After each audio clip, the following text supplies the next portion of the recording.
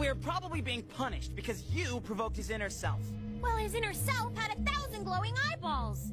Oh no! Eyeballs! You're so easy to scare. Boo!